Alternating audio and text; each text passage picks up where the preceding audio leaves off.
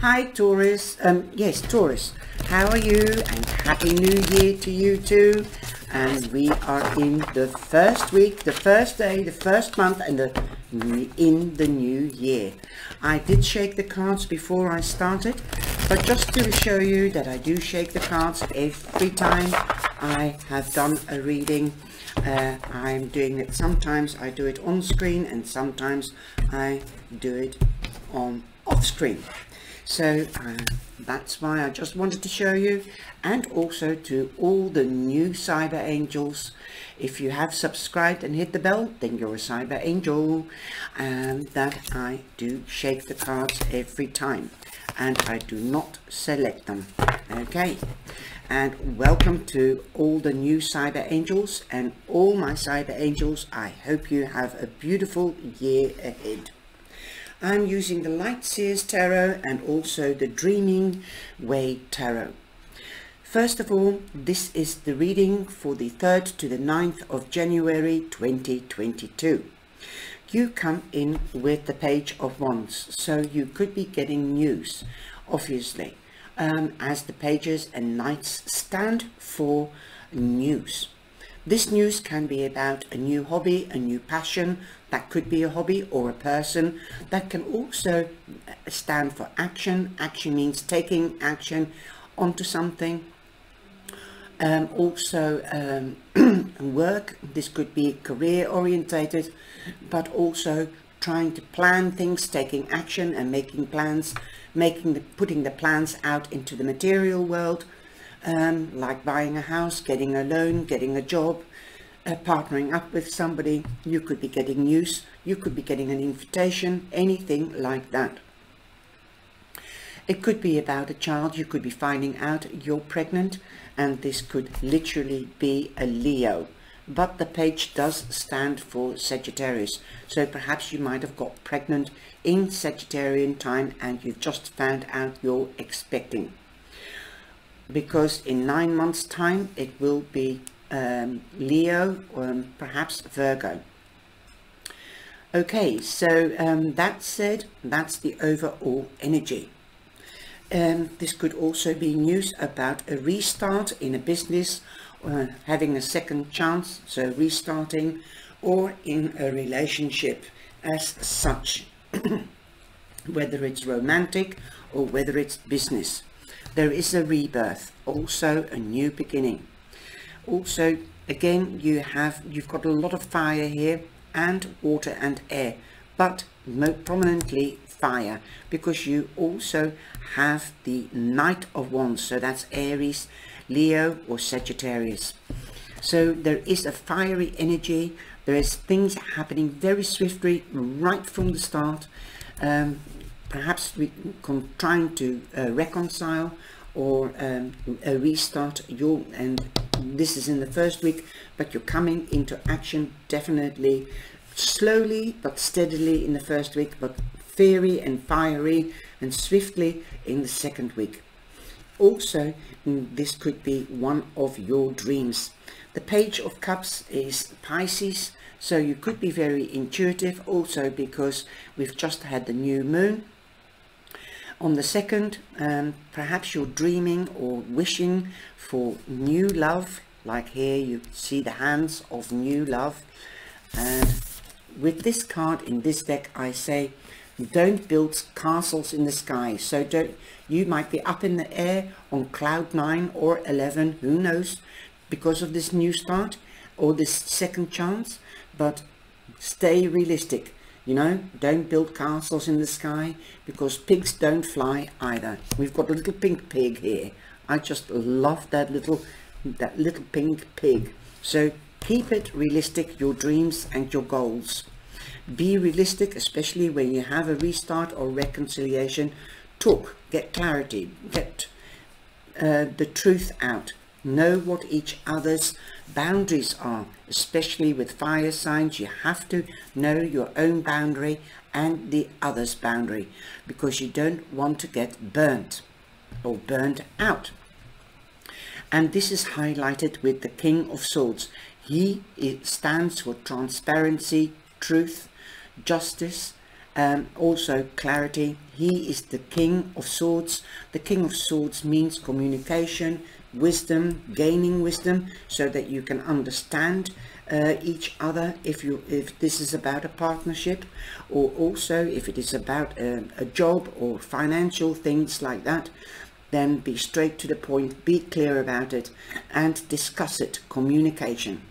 Let the others know what you're wishing for if it's applying for a loan for instance. Why do you need the loan? You want to buy a house or a car? Boom. Be clear and also be wise. Don't let everybody um, know how wise you are but use your wisdom. You've got the owl here so use your brain. That is your strength. Also um, have a very clear perspective on what you want and why you need it. Sell yourself like the Gemini. The Gemini can sell uh, ice cubes to Eskimos, so sell yourself and your ideas. Wow. Okay, and Taurus, you are amazing because you have been improving and uh, coming out of your shell. You're as sharp as anything.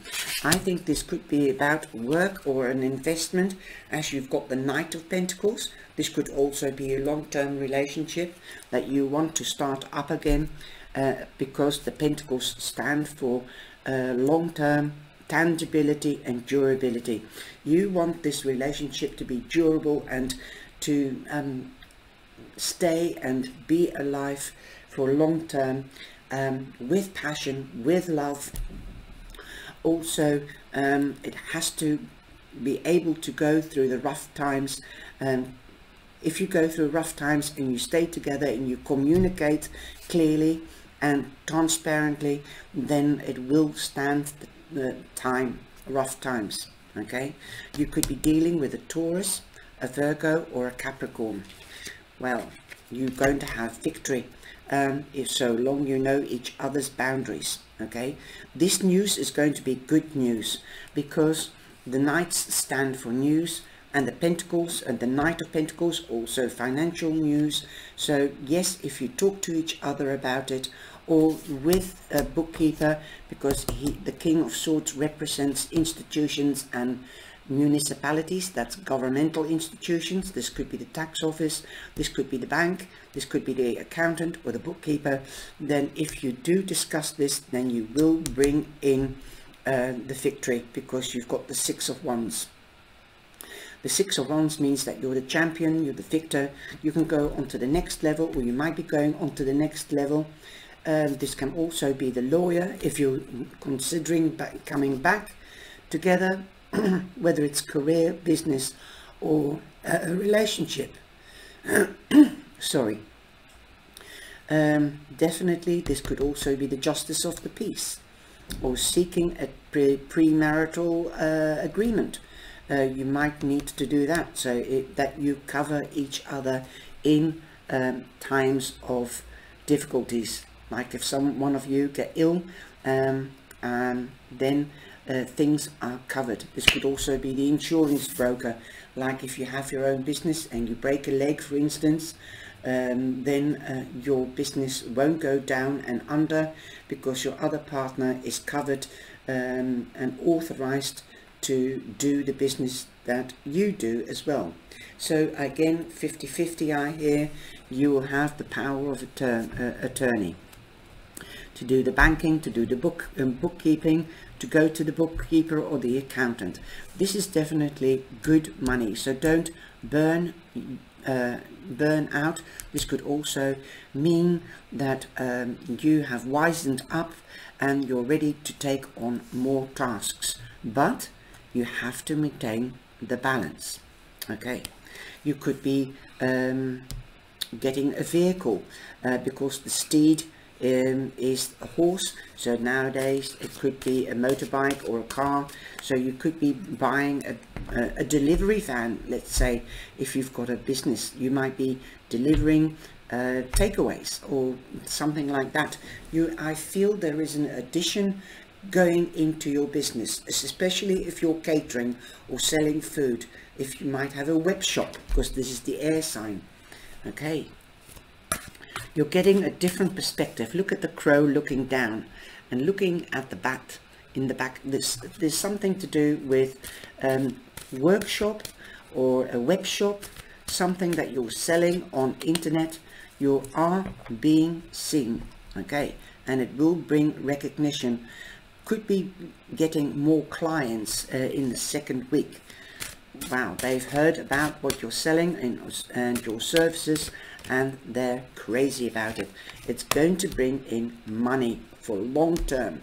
This is definitely a new beginning. You could be thinking of expanding into uh, the cyber world because this coin is in mid-air. Um, also, the Ace of Pentacles means, again, Taurus, Virgo, Capricorn. Capricorn could be bringing in big money if you have been clear and being precise. You've got the knowledge. You know what to do. You've got that loan. Also, in romance, this could be definitely good news so long you know each other's boundaries and you respect each other's boundaries whether it's about financial situation perhaps there was arguments prior that you broke up because of a financial situation. Now you're in the positive position to start up again and for long term. And you will um, have um, how do you call that? A return on what you invest. It is like I said you have to find the balance. Don't be in the clouds you've got to be transparent and you've got to be down to earth okay you've got to follow your heart and you have to be clear you have to talk to each other this is the communication card you can't be infatuated all the time. The infatuation, the in love will has to turn into real love. Then it will last. Again, you might be finding out that you're pregnant. You've got the page here and you've got a page here. The page of cups is Pisces. This is Gemini. Um, this is Sagittarius. And you've got all the earth signs here and you've got the Empress which is Libra so definitely the Empress is again uh, is sowing seeds if you've already sown seeds then you could be harvesting or you could hear of a birth this can be of a project this can be of a child but she nurtures a, a project like a child now underneath the the deck I've been shoveling whilst I've been speaking. You've got number 16, so you've got number 7. Luck is on your side. But something unexpected is going to happen. Perhaps you didn't expect that the other half, if you're separated, wants to come back and do a reconciliation. This is totally unexpected. Now, something wasn't built on proper foundations and this is definitely confirming throughout the reading that you need to communicate, you need to be transparent, you need to be honest, and not with your brain in the clouds. um, so you need to discuss something. This could be the lawyer or the mediator uh, or the arbitrator uh, in the discussions to, to get this new start off the ground, but building it on a solid foundation. This is what you've learned. You learn from the past okay build something on proper foundations now take this as excitement and as an adventure by building it uh, again up from the ground but on solid foundations and you can be ambitious building but don't forget if you're ambitious it's fine but don't forget the people that love you and that are around you that support you. This could be a couple right? This could be a mother. This is a mother figure. This is a father figure and they're lying underneath each other. So definitely build something on solid foundations and learn from the past, Taurus. You know what you want, find out what they want and find out how to do it by getting advice from a professional or somebody that's been there and done that. Wow, awesome.